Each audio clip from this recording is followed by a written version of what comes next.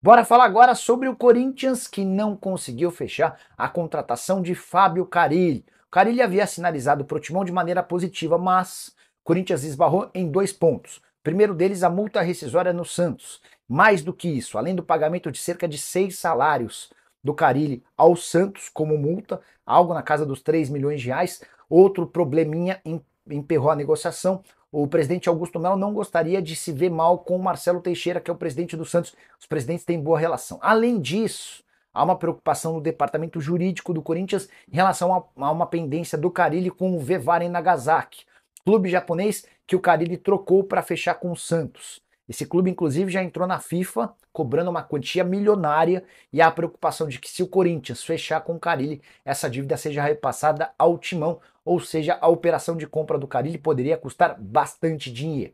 Diante desse impasse, com a manutenção do Carilli pelo menos por hora no peixe, cheguei a conversar com o presidente Marcelo Teixeira durante a live do canal do Nicola nessa terça-feira, e o Marcelo disse que tudo seguiria igual, que o Carilli continuaria no clube, o Carilli comanda treino hoje, comanda treino nessa quinta-feira e embarca para enfrentar o Ceará na sexta-feira pela Série B. Diante disso, há a necessidade do Corinthians de buscar um outro técnico.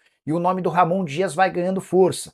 Treinador argentino, desempregado, trabalhou pelo Vasco da Gama, a passagem dele pelo Vasco foi boa. Ele consegue tirar o Vasco da última colocação no Campeonato Brasileiro e evitar um rebaixamento que parecia improvável. Na temporada de 2024 a coisa não funcionou tão bem e ele acabou sendo demitido.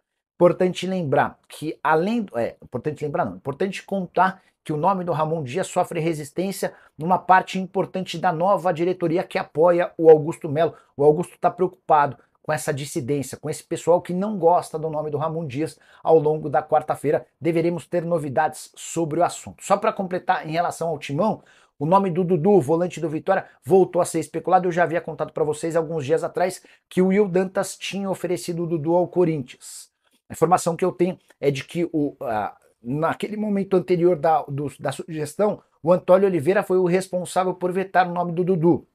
Agora, sem o Antônio, o Will Dantas, empresário, que é responsável pela carreira do Dudu, vai tentar emplacar de novo o jogador. Não vejo com muitas possibilidades de acordo, até porque o Vitória está exigindo 3 milhões de euros, valor considerado muito alto para o Corinthians.